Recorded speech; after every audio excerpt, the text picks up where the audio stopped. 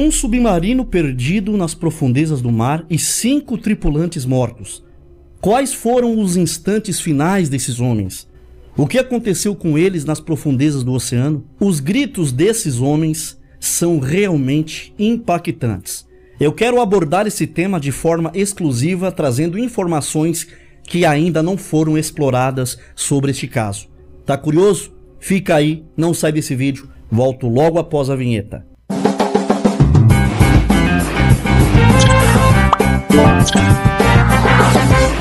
A paz do Senhor Jesus esteja com todos vocês. Sejam todos muito bem-vindos a este canal. Você que clicou nesse vídeo, Deus abençoe muito a sua vida, a sua casa e toda a sua família.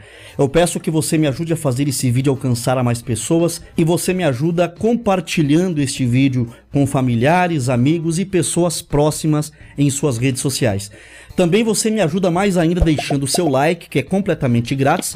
E se você ainda não é inscrito aqui no canal, inscreva-se, ative o sininho das notificações para que toda vez que eu postar um novo vídeo, um novo conteúdo aqui, você receba um aviso, uma notificação aí no seu celular. E meus queridos, tem um projeto de trabalho sendo desenvolvido aqui na internet destinado àquelas pessoas que desejam obter uma renda extra, um adicional para complementar o seu salário. E o melhor de tudo, trabalhando confortavelmente em sua casa apenas com o seu celular de maneira segura e honesta.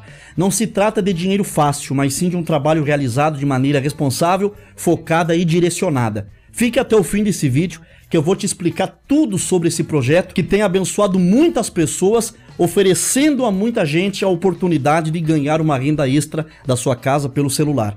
Eu tenho certeza que vocês ficaram extremamente felizes com a dica que eu vou passar no final desse vídeo. Você já pensou em se aventurar em uma jornada nas profundezas dos mares para explorar o que ainda restou dos destroços do navio Titanic? E de repente se ver aprisionado em um submarino no meio do Oceano Atlântico, na profundeza dos mares, sem comunicação e aos poucos ficando sem oxigênio? Mas este foi o cenário assustador que uma equipe composta por cinco tripulantes enfrentou essa semana no fundo do mar.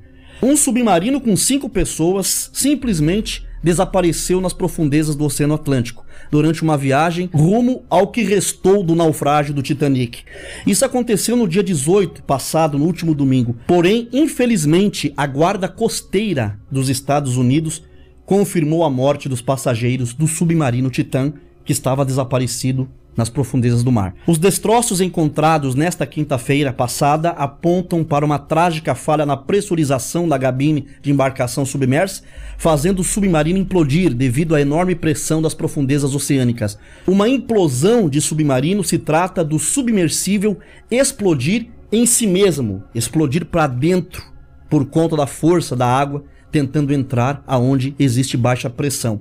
Nesse caso foi o que aconteceu dentro do Titã, assim levando cinco pessoas a óbito. O Titã estava conduzindo uma expedição com cinco turistas com o propósito de explorar os destroços do Titanic quando ele desapareceu nas águas do Oceano Atlântico. A embarcação submersível tinha capacidade para abrigar até 5 passageiros e possuía dimensões de 6,5 metros de comprimento por 3 metros de largura. A participação em uma expedição a bordo desse submarino teve um custo aproximado de 1 milhão e 200 mil reais por ocupante. É muito dinheiro para viajar em uma cápsula que tem apenas um banheiro, não há assentos, cabe no máximo 5 passageiros, tinha que sentar de pernas cruzadas no chão não tinha janelas, exceto uma escotilha que era de onde os passageiros viam os destroços do Titanic. Não tinha GPS debaixo d'água, os equipamentos eram de baixa tecnologia e o pior de tudo, era controlado por um controle igual ao controle de jogar videogame, parecendo um controle de PlayStation. Mas o que esses cinco milionários foram fazer no fundo do mar? Com tantos lugares paradisíacos nesse mundão para visitar, foram se aventurar, essa é a resposta. Os cinco tripulantes que perderam a vida no fundo do mar eram Shanzad Dawood, um milionário e empresário paquistanês, Suleiman Dawood, filho do empresário paquistanês, Hamish Harding, um bilionário, empresário e explorador britânico, e Paul Henry Nergelow, e Stockton Rush, diretor executivo da Ocean Gate, dona do submarino. Esse pessoal foi atrás do que restou do Titanic, que naufragou há mais de 100 anos e após um longo período do naufrágio do navio, em 1985, um grupo de cientistas finalmente localizou os destroços do gigante naufragado. A embarcação estava localizada a cerca de 3.800 metros abaixo da superfície do Oceano Atlântico Norte e a equipe conseguiu recuperar aproximadamente 5 mil objetos que pertenciam à tribulação do Titanic. Apesar da história e da fama do Titanic, as pessoas não ficam satisfeitas apenas com as imagens e os objetos resgatados. As pessoas desejam ver de perto. E assim surgiu a Ocean Gate, a empresa responsável por levar pessoas de grande poder aquisitivo até as profundezas do mar. No entanto, questiona-se se realmente vale a pena investir 250 mil dólares nessa viagem cerca de 1 milhão e 200 mil reais, colocando as suas vidas em risco apenas para contemplar um monte de sucata e de ferro velho enferrujado se deteriorando no fundo do mar. Para esses últimos passageiros, deveria valer a pena.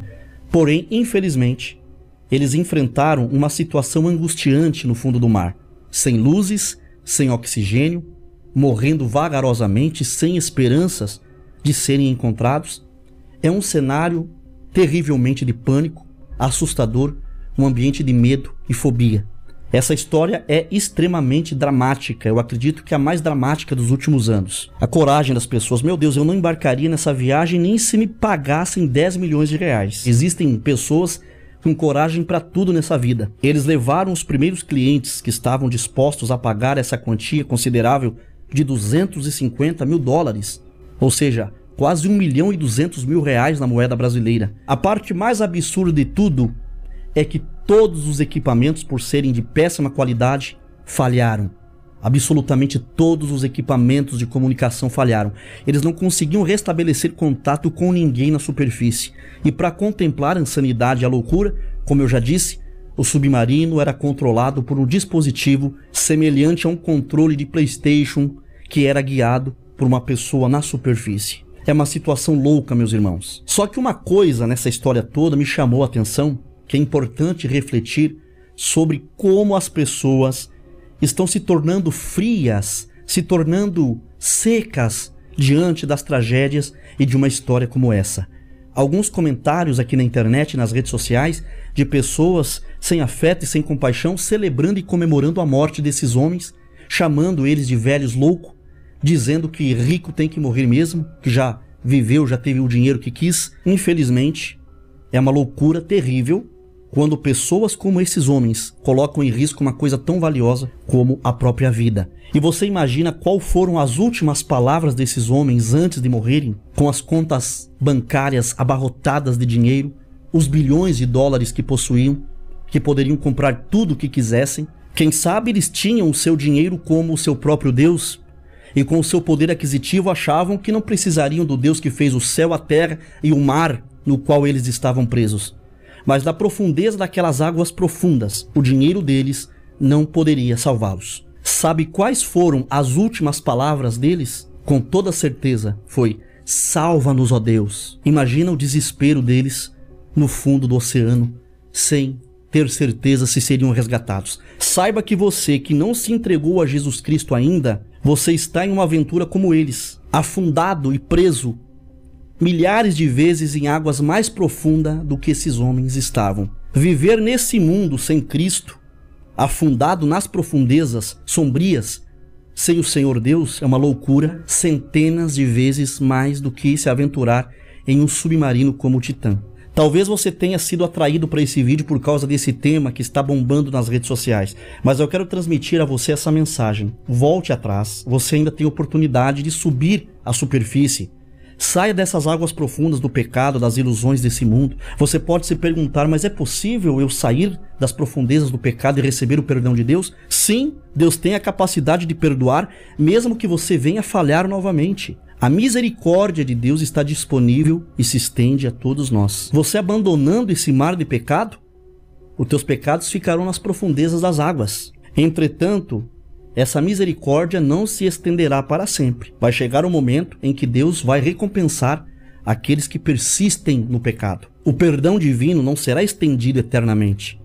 Ele vai findar quando todos os casos forem decididos e julgados pelo justo juiz então não haverá mais oportunidade de salvação para aqueles que se perderam.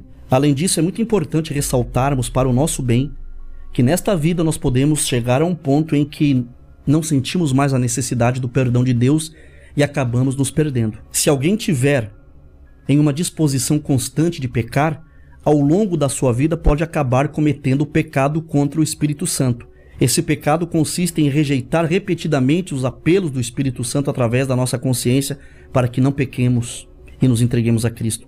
Quando uma pessoa peca sem restrições durante toda a sua vida, não se importando com a vontade de Deus, chegará o momento em que ela se afastará do Espírito Santo e deixará de se arrepender de seus pecados. Essa pessoa vai acabar achando que está tudo bem.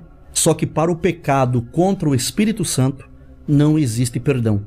Portanto, meus queridos, a atitude mais segura que temos é abandonar o pecado. Só que esse terrível mal será eliminado do mundo pelo fogo, juntamente com aqueles que não aceitaram o poder de Cristo para mudar de vida. Saiba que Deus não destruirá alguém que é pecador, mas que está lutando para vencer a sua natureza má. Deus destruirá sim aqueles que continuam pecando por não terem aceitado Jesus como seu Salvador e não ter perseverado até o fim. Por que, que você não se entrega plenamente a Cristo, dando seu coração a Ele por completo?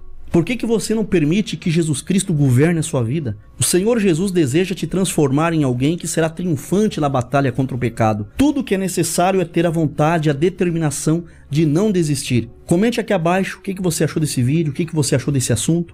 Deixe a sua opinião aqui nos comentários. Não esqueça de compartilhar esse vídeo. Se ele foi uma bênção para você, compartilhe com outras pessoas. Deixe o seu like, inscreva-se no canal e ative o sininho das notificações. Agora eu gostaria que você me desse um minuto da sua atenção, tá? Eu tenho algo muito importante para dizer. Você estaria interessado em obter uma renda extra de 100 a 200 reais por dia de maneira segura e honesta, usando apenas o seu celular durante o seu tempo livre? Então, vocês sabem que esse canal tem o objetivo de abençoar vidas. Então, eu conversei com meu amigo Bruno. Ele é uma pessoa que já conseguiu ganhar milhares de reais aqui na internet e também já ajudou centenas de pessoas a começarem a trabalhar pela internet usando apenas o celular. Aqui na tela estão alguns prints com resultados dos seus alunos. O Bruno me disse que tem uma maneira de ajudar você também a ganhar dinheiro trabalhando com o seu celular. Ele tem algumas vagas disponíveis para um mini curso gratuito onde você vai aprender exatamente como funciona essa oportunidade de trabalhar em casa de forma honesta e segura usando apenas o seu celular. Para receber esse mini curso gratuito é muito simples. Basta você entrar em contato com o Bruno pelo WhatsApp. O link do WhatsApp do Bruno estará aqui abaixo para você obter o mini curso, tá? Esse link estará na descrição do vídeo e no primeiro comentário fixado logo abaixo. Corra lá, entre em contato com o Bruno agora mesmo, que ele está pronto online, disposto para te ajudar. Deus abençoe.